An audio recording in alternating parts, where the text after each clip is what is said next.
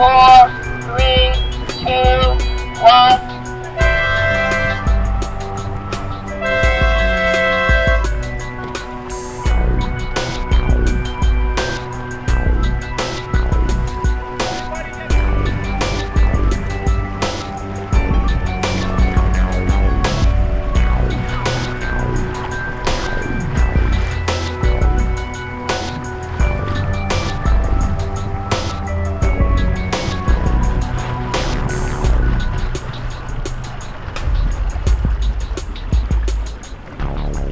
I'm Kevin Northrup.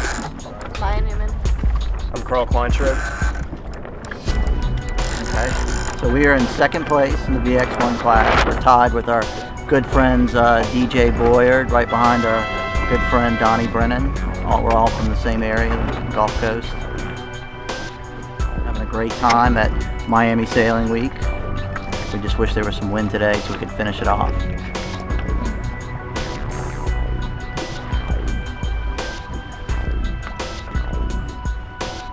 So we were hoping that the race would get this race off, but it got too fluky and the J70s and Vipers in front of us were abandoned because there was no wind and it was too shifty. This is uh, informational purposes. The Melges just decided to go home for the day. Stars have already gone home.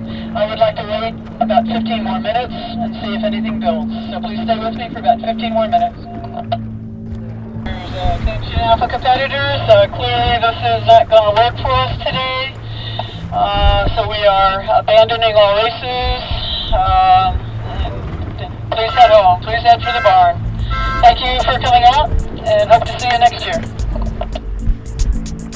Hi, I'm John Taylor from Team Ninkasi. We sail with Joey uh, Mello and uh, Billy Hardesty, and we uh, had a pretty good week. Uh, up and down conditions. Uh, unfortunately, today we didn't get to sail, uh, but yesterday was uh, probably one of the more exciting days we've ever had. Sailing out there with 25 knots. I think we saw 15, 18 knots of boat speed, so it was great fun. A lot of wild conditions, so we had a good regatta. I'm Kevin Welsh, the owner of Mikey, and uh, we had a good regatta, though we're a little disappointed we didn't get to sail today, but we had a wonderful day yesterday, and uh, we're just slowly um, uh, climbing the learning curve with the Melges 24.